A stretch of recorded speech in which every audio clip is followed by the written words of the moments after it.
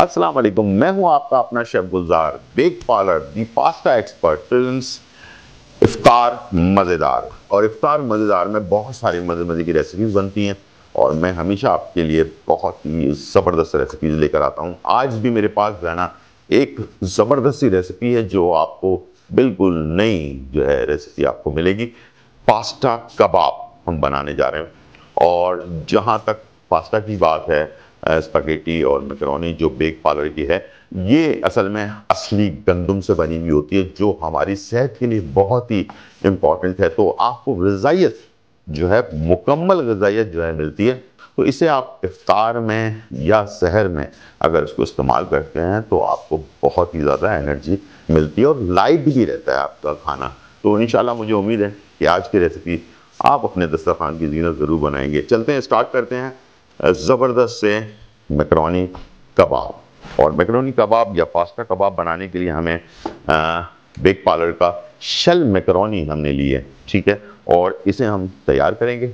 आइए स्टार्ट करते जी नाजीन तो पास्ता कबाब बनाने के लिए कुछ चीज़ें जो हैं, वो हमने इस्तेमाल करनी है। क्या क्या चीज़ें इस्तेमाल होंगी? आइए चलते हैं। सबसे पहले हमने ली है एक प्याज, छोटी, ठीक है चॉप हुई हुई और इसके साथ गार्लिक तकरीबन एक खाने का चम्मच और इसमें हमने इस्तेमाल करना है काली मिर्च, एक चाय का चम्मच और इसके साथ सफ़ेद मिर्च, एक चाय का चम्मच और नमक।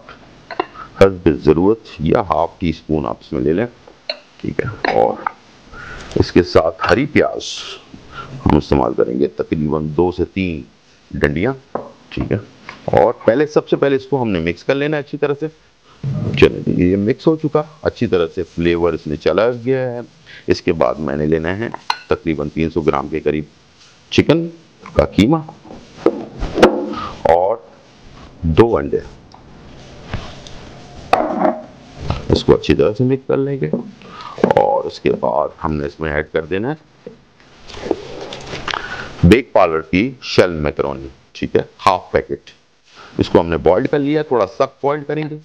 और इसे हमने इसके साथ अच्छी तरह से मिक्स कर लें चले नज़र तो ये हो गया है तैयार। अब मैं इसे कबाब की शक्ल दूँगा और हम फ्राई करेंगे धीमी आँच पर या दरमियानी आँच पर इसको हमने कंप्लीट करना है। आइए चलते हैं।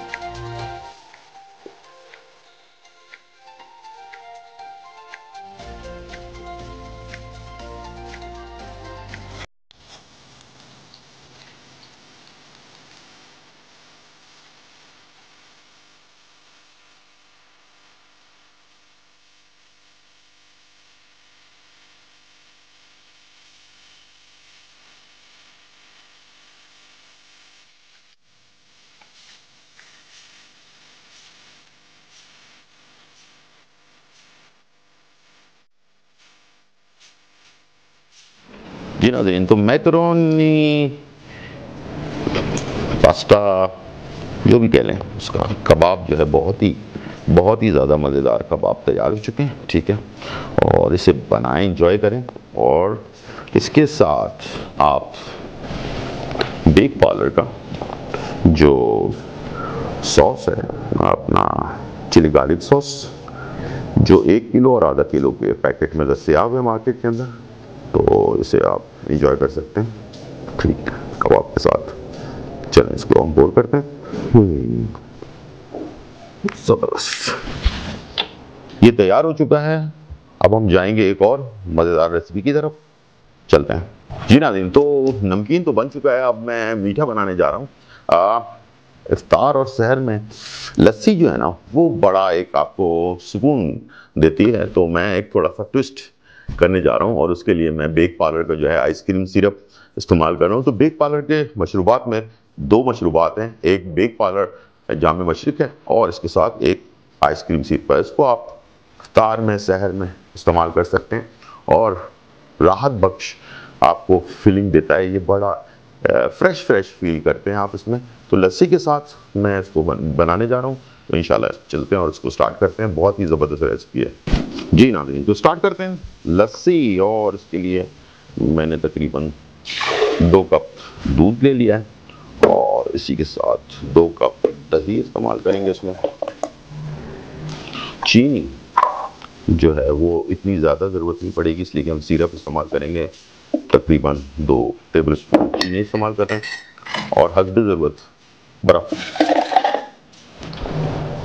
और इसके बाद बेक पाउडर का आइसक्रीम सिरप इस्तेमाल करने जा रहा हूँ।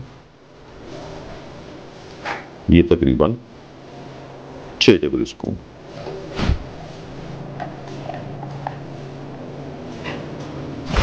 जी नाजरीन तो ये हो गया हमें सारी चीज़ें ऐड तो इसमें और अब इसको मिक्स करने जा रहे हैं। मिक्स हो चुका और हम्म, ज़बरदस्त लस्सी